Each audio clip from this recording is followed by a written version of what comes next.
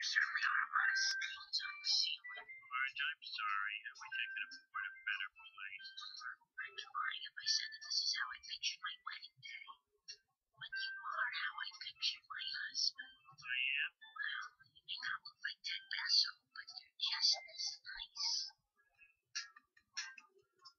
Dearly beloved, we are gathered here in the sight of God in this casino to join Homer and Marge in holy matrimony. Beautiful. Do you, Marjorie Bouvier, take Homer J. Simpson to be a lawful wedded husband? I do. Homer, same question, names reversed. I do. Then, by the power